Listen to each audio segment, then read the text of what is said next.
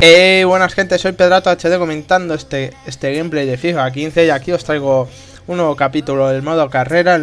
El, mes de octubre y el primer partido nos toca contra el Málaga, un equipo que me parece ante todo a priori un equipo bastante fuerte y potente, es un equipo que, que bueno que desde que estuvo el jeque se reforzó bien, ha perdido grandes jugadores, pero sigue siendo el Málaga y sigue siendo un gran equipo y es un, es un competidor más que digno para este partido. Aquí en una buena jugada del toque, con tres toques justos, Lee se encuentra solo delante del portero. El primer chute se para bien el portero y en el, en el rebote Lee no aprovecha y desperdicia esta gran oportunidad. Y aquí una pérdida de balón en medio del campo. El Málaga la aprovecha para hacer un pase increíble a Pérez. Y Pérez que la enchufa de primeras. Vaya golazo. La verdad, un golazo por parte de Pérez.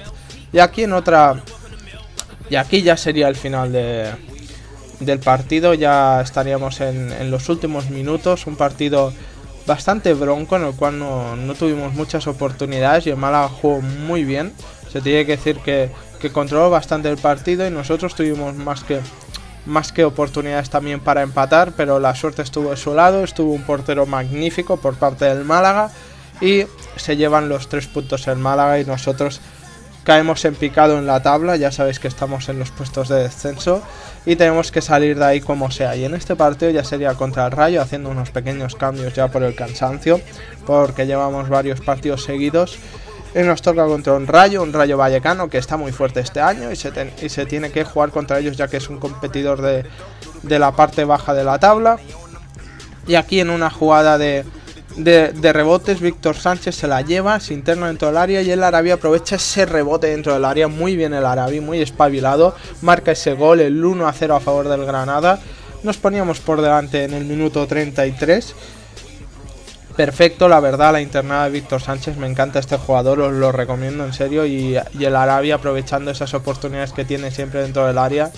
Y aquí en una jugada que viene el, el Granada, como saca el balón desde desde atrás, Rafinha acaricia ese balón para meter ese golazo por toda la escuadra. Imparable para el porteo. Rafinha, que es un gran jugador. Pena que se tenga aquí en la, temporada que viene, ya que ha venido cedido este año. Pero la verdad es increíble este jugador. Nos está aportando una calidad increíble. Y y me encanta cómo juega, o sea, es que es increíble, lo recomiendo totalmente. Y aquí en una jugada del toque, en la frontal, el Rayo Vallecano pondría el 2 a 1.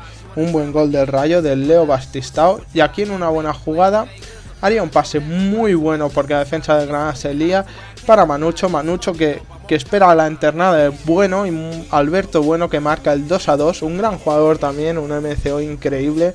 Me encanta también, es de estilo de Rafiña. Un poquito peor, pero me encanta, me encanta Alberto Bueno. Y aquí ya en la en el final del partido se acabaría el partido con este 2 a 2. Se nos escapa dos puntos. O sea, nos adelantamos en el marcador con un 2 a 0. Y esa relajación que, suele suceder en estos, en, estos partidos, la segunda parte el Rayo se espabiló, se motivó, salió al campo a comerse el balón y se llevó esos, esos dos puntos. Ese punto merecido y nosotros perdemos esos dos puntos, como digo. Y aquí ya jugamos contra el Barcelona un equipo de alto nivel y nosotros, más chulos que pichulos, nos ponemos los suplentes y intentaremos dar la cara con nuestros suplentes. Pero ¿qué suplentes? Ponemos a Dama y Samper, que son jugadores de del Fútbol Club Barcelona B del filial y, además también jugamos con Rafinha y aquí en una jugada bien Neymar por la banda se la pasa Iniesta que Iniesta no falla y aquí en una gran jugada Liz interna en el área y el último jugador con Matthew comete un penalti lo más sorprendente de esta jugada es que no le ponen una roja o sea le ponen amarilla y yo creo que esta jugada era para para roja directa, pero bueno, el árbitro es el que decide no nos podemos quejar. Aquí Rafinha se dispone a tirar el penalti, como no, eh, jugador del Granada durante esta temporada. Y para demostrar su calidad contra el Barcelona, se dispone a tirar y qué gol de Rafinha, bien definido por parte de Rafinha, no falla, se eh, pone el 1 a 1 en el marcador, parece que no, pero en el Camp Nou el Granada se ha crecido, busca ganar el partido y fusila a portería Rafinha marcando su cuarto gol en liga. Aquí en, una jugada Montoya por la banda, muy bien como se va de un jugador, como para el balón, sigue para adelante, centra con un centro medido a la cabeza Leo Messi y marca ese golazo por todas las cuadras Leo Messi de cabeza. Madre de Dios, qué golazo, tengo que reconocerlo. Para aquí viene otro mejor, Adama desde el centro del campo, contiene el balón, se va de Iniesta, se va de uno, espera, busca espacios, se va de otro, se va de otro, ya van cuatro, van cinco y golazo de Adama. Qué golazo desde centro del campo ha venido al Granada para quedarse, no para irse y para ser titular y demostrar lo que es y lo que era en el Fútbol Club Barcelona B. Hemos hecho un gran fichaje. Adama es increíble, es un jugador rápido, increíble. Y aquí en una última jugada Aquí dispondría un pase para Rafinha y Rafinha se pondría a intentar lo que hizo contra el Rayo, pero Claudio Bravo estaba más espabilado en esta jugada y haría ese paradón que, que evitaría el 3 a 2 y un ridículo por parte del Barça. Aquí el Barça pierde esos dos puntos y nosotros ganamos ese punto importantísimo con los suplentes que demuestran que de suplentes poco. Son grandes titulares, grandes jugadores y que tenemos un banquillo lleno de, lleno de estrellas y que pueden cumplir muy bien ah, y no solo los, los titulares cumplen. Y después nos tocaría contra un equipo un poco más asequible que sería el Eibar.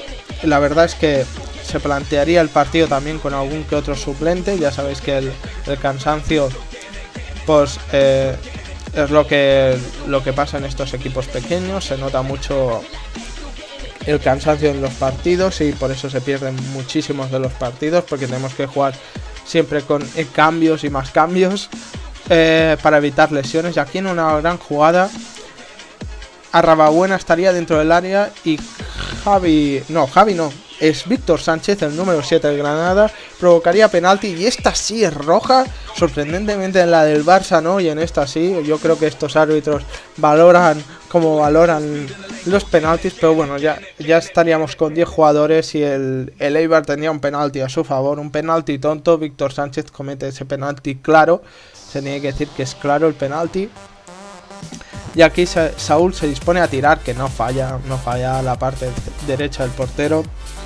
Y marca ese gol, el 1 a 0 en el minuto 20, ya cuesta arriba con 10 jugadores solo, sería el partido un poco más difícil lo normal, aparentemente era más fácil y la verdad es que ningún partido es fácil, em, todo el mundo lucha por algo y sobre todo el Eibar, eh, equipos como el Eibar que quieren seguir en primera y luchan por estar en primera. Ya en el minuto 40 sacan de portería, aquí no llega al remate, buena ahí para Rababuena, Rababuena para Manu, Rababuena para, para Manu otra vez y Manu sentencia el partido con un 2 a 0, gran jugada Rababuena y Manu, gran, grandes paredes y así se acabaría el partido con un 2 a 0 a favor de Leibar.